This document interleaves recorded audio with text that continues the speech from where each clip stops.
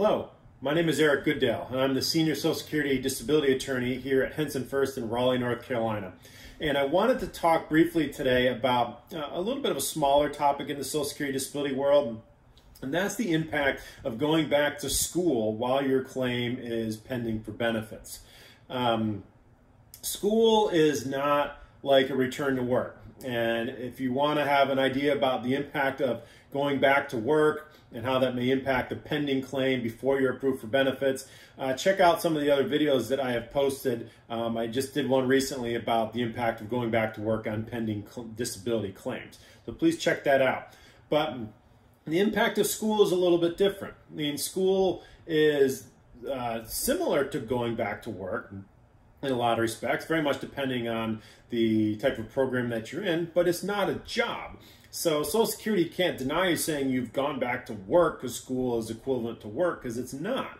Um, so some of the factors that comes up when we look at going back to school, uh, one of the big ones now, especially since COVID has been going on, is um, how are you going to school?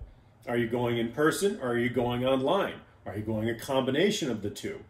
Um, going online obviously changes things because there's not as strict the deadlines. You don't have to physically get on and off campus or sit in class. You know, you can have a bad back and sit laying in bed watching your lectures and doing your assignments.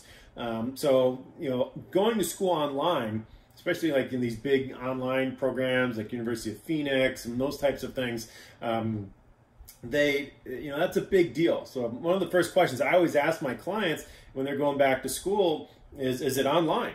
Because that plays a big factor. I mean, if you're going in person and you're claiming you got a bad back and you're, um, you know, going to like here in our area to let's say NC State, then, um, you know, walking all the way across campus to get to class and back, that's pretty tough to coincide with saying you're disabled because you got a really bad back or you got a bad hip or bad feet or something like that. So online versus in person, that's one of the factors that we consider.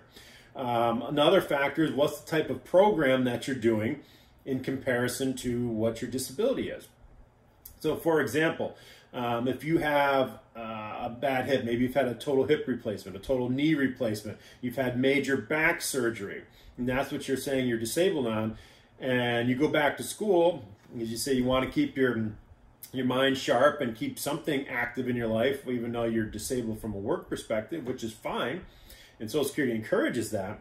But let's say you go back to be an auto mechanic or a chef or something where you're on your feet or it's physical um, and it's in person and you've got a, you know, let's say you're in healthcare and you're trying to go back to nursing school or something like that. And those are physical jobs. So even though school itself, as far as like nursing school, for example, is not something that would get you denied uh, for disability benefits, Social Security is going to be paying attention to. Um, you know, what are the types of jobs this is going to lead to? What's the physical requirements of just actually learning these types of things while in school? I mean, obviously, a um, a trade profession or something like if you're, uh, you know, trying to learn how to be in construction in some kind, of being a welder, as I said, being a nurse. That's very different than going back to business school to get your MBA or or just to get your associate's degree in in criminal justice or something like that, where it's primarily um, you know in class and just assignments or reading things that isn't physical. You know, another thing too is when I talked about looking at the the type of program that you're in in comparison to the conditions that you're alleging, and that is, let's say you're, you're alleging mental health problems, can't be around people, you have panic attacks under stressful circumstances, and then you're in a uh, you know, let's say a, a, higher level program. You're trying to get your MBA, like I just mentioned, or that's where going in person comes up again. Like, how do you go to school in person with all these people in class um, if you have trouble being around people? Uh, so the, the factors, those are factors that Social Security and the Social Security judges are going to be paying attention to.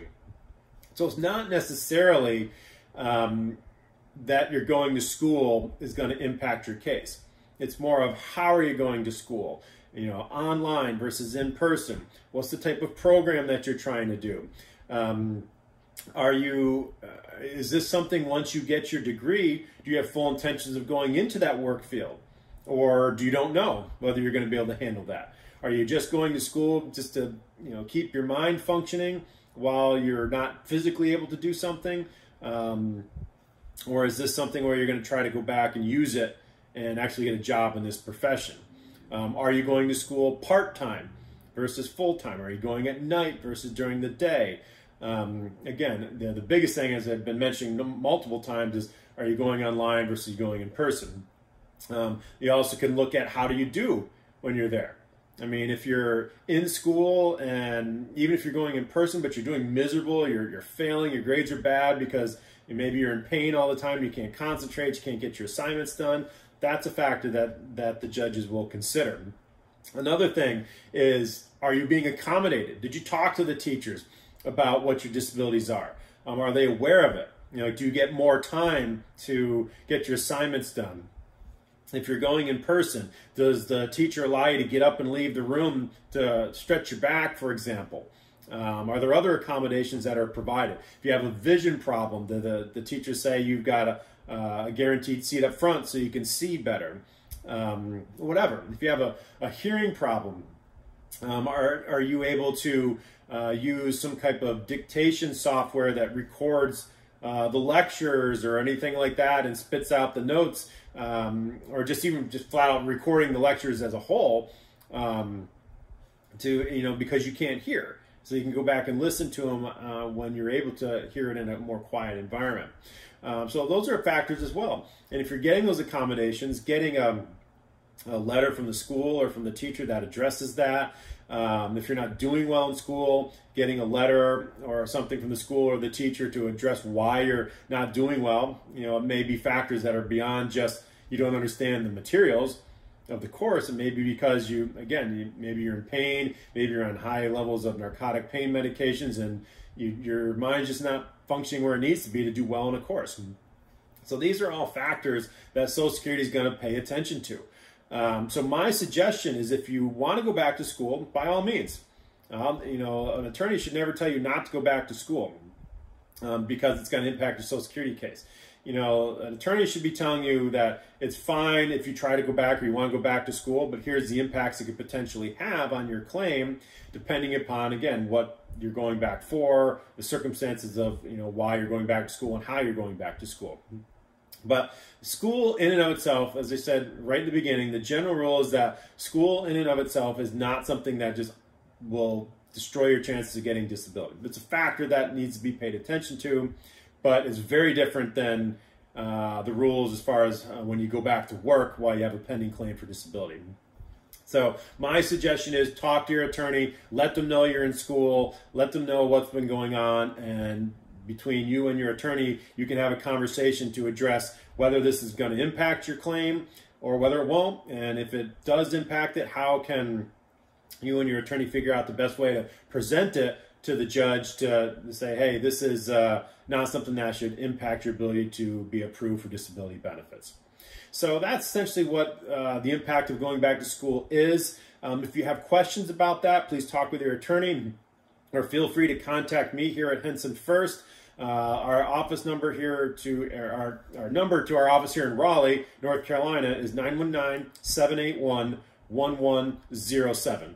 So thank you. Uh, best of luck if you are trying to go back to school, but please make sure you keep your attorney uh, in the loop and knowing what's going on so they can address how that may impact your claim. Thank you very much.